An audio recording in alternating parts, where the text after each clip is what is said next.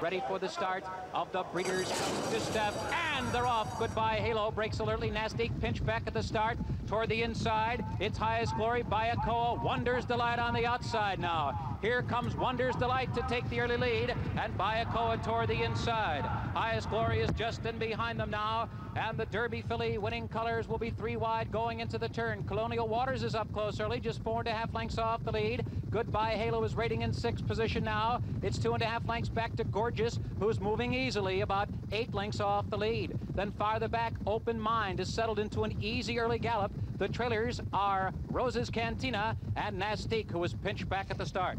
The opening quarter was slow, 24 and 2 fifths seconds. Wonders Delight set the pace. And now Bayakoa is going to take a run for the lead now on the outside. There goes Bayakoa after the lead. Then just off them on the outside, Highest Glory is kept close in third position, two lengths back, and Colonial Waters is moving well in fourth. Gorgeous is still racing in fifth position now, and she's beginning to pick it up. The field now moving for the far turn. 48 and 4. The pace was slow. And now Bayakoa takes the lead and pulls clear as they round the far turn. Wonders Delight her job done. She's dropping out of it now. Highest Glory is coming after Bayakoa, who is in full stride. She's opening up here by three. Highest Glory is second. And now Gorgeous is asked for running. She's going to move through toward the inside. From the back of the pack, Open Mind is gathering momentum, but she is seven lengths off the lead of Bayakoa, who comes for home now, entering the final furlong. And Gorgeous with a bold late run toward the rail. Bayakoa is put to a fierce drive, trying to hold on by two. Gorgeous trying to catch her, running out of ground. Bayakoa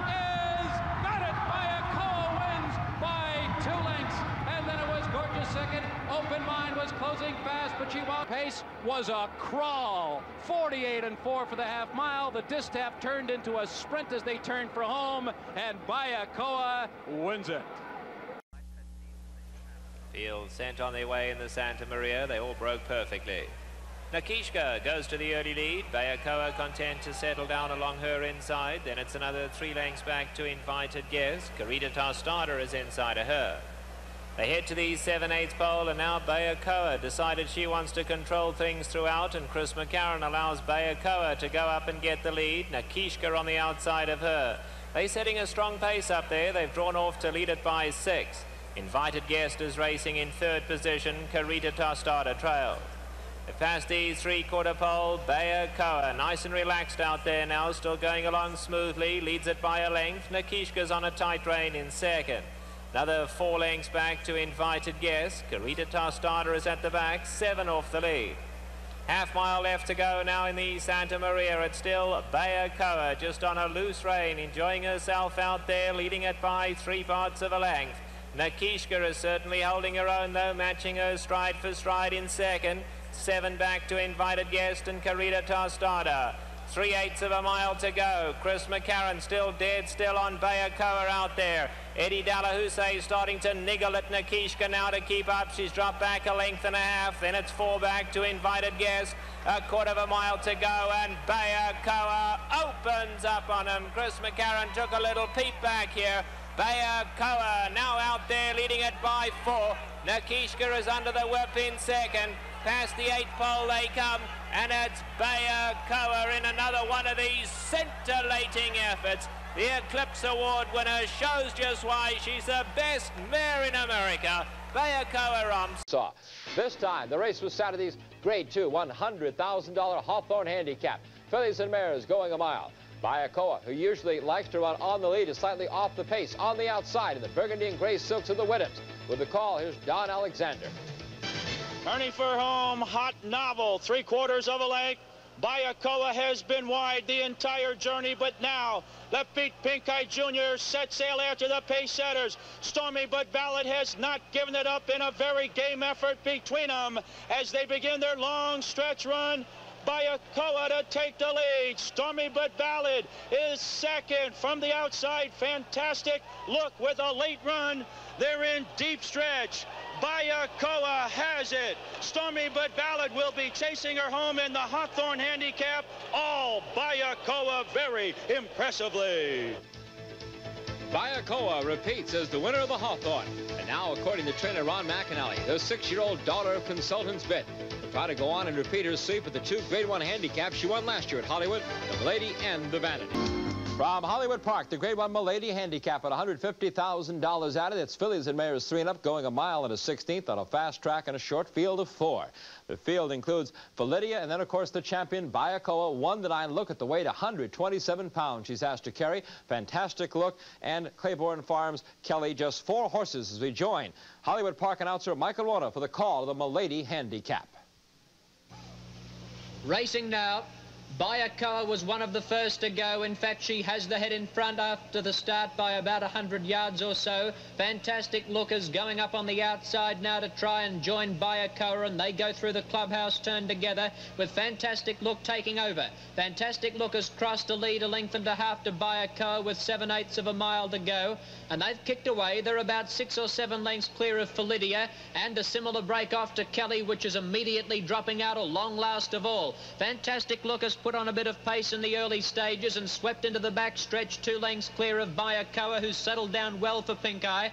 They're clear by about half a dozen lengths to the Irish bred Felidia, with Kelly some 15 lengths off at the tail of the field. Now Bayakoa striding up on the outside within a length or so of fantastic look as they go towards the half mile in the 1990 Milady Handicap. It's fantastic look in the Golden Eagle colours the leader by a length to Bayakoa, who's sitting up in a beautiful position. About eight lengths away in third placing was Felidia, and Kelly is struggling to keep them in sight. Feli uh, Kelly about 12 lengths away at the tail of the field. Coming down towards the 5 16th marker, and fantastic look is the leader here, quickening up again by a length and a half to Bayakoa. They're a long way in front of Felidia. It's fantastic look, the first to straighten up. Fantastic look at the 3 16ths has given a couple of cracks with the web. Bayakoa looks to be coasting up to it. Pincay hasn't let the great mare go yet, and Bayakoa went a fantastic look. Bayakoa has taken the lead. She's going to top the $2 million in stake earnings here. Bayakoa coming away, and she's going to win it brilliantly. Bayakoa too classy for fantastic look. A long way back third was... Bayakoa giving 14 pounds to the runner-up, wins the Milady Handicap. She's by consultant's bid out of the mare Arlucea, bred in Argentina, owned by Frank and Jan Whitham of Kansas, trained by Ron McAnally, ridden by Laffit Pincay Jr. It seems to me this could be a rider's race. Do you go right to the front with Bayakoa and uh, make the rest of them catch you? And what about Go for Wand? Does she stay close or lay back?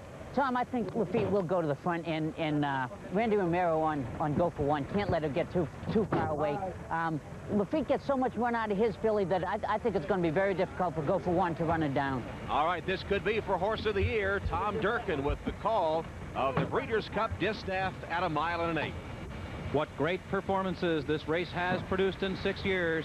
Princess Rooney, Lady Secret, Personal Ensign, and Bayakoa, the six-year-old Argentine mare won it last year. She's in again this year.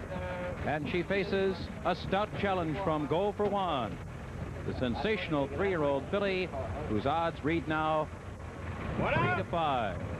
No good. I don't like the way she's... One more in behind the gate.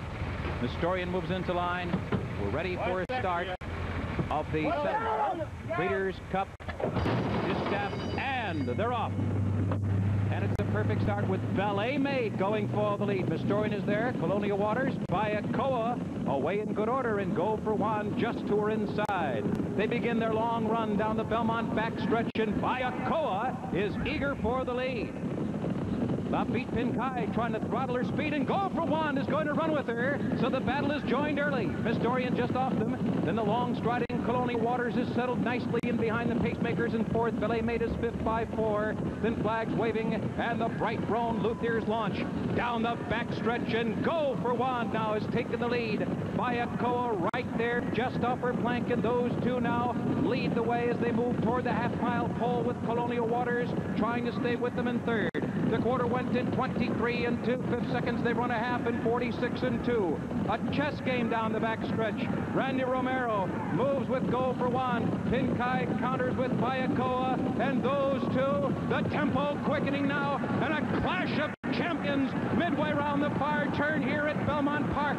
They pulled away from three. Colonial Waters is racing in third position. And Nestorian is fourth. They hooked up at the start. They're in a cutthroat duel. Go for Wand, holding on to a short lead. Bayakoa is right at her throat, and they have dueled through three quarters of a mile. 10 and 2. Bayakoa on the outside. A short lead. Go for Wand is unwavering toward the rail. Those two stride for stride. Go for Wand on the inside. Bayakoa battling back. A dramatic distaff. Go for Wand. Grimley holding on. Bayakoa right there. They bubble. Oh, and a tragedy as Go for Wand has fallen at the 16th hole. And a tragic stretch run here. Bayakoa goes on to win it, and 55,000 here in shocked disbelief as Go for Wand has broken down at the 16th hole. Oh, the tragedy of this day continues. The brilliant filly Go for Wand. It appeared a front leg collapsing and jockey Randy Romero, who rode Go for Wand to the Juvenile Filly Championship at the Breeders' Cup in Gulfstream Park last year, joins uh, fellow jockey Chris Antley, although at least uh, in Romero's behalf, he is conscious. You, if you've just joined us, Chris Antley in the sprint on Mr. Nickerson broke a collarbone, was sent to the hospital. Here they are dueling one a mirror of the other throughout the entire race. Go for Wand on the inside and Bayakoa on the outside. And then Go for Wand reaching down deep to battle to the wire and within strides of the finish line. A wrong step, a turn, a twist, and Go for Wand will go down. There it is. And suddenly Bayakoa's victory an empty one. Tom? Head-on shot, Dick, you can see the bad step taken by Go for Wand, who did snap a foreleg. Randy Romero going to the track. And it is rapidly turning into the most tragic day in American horse racing history. A hollow victory indeed for Bayakoa, a great champion mare who was showing her grit and determination by battling head and head with the equally valiant Go for Wand until the tragic broken front leg by Go for Wand. Randy Romero on the backboard being lifted onto the stretcher. The second seriously injured rider of the day, Chris Antley taken away by ambulance after a spill in the first race. Excuse me.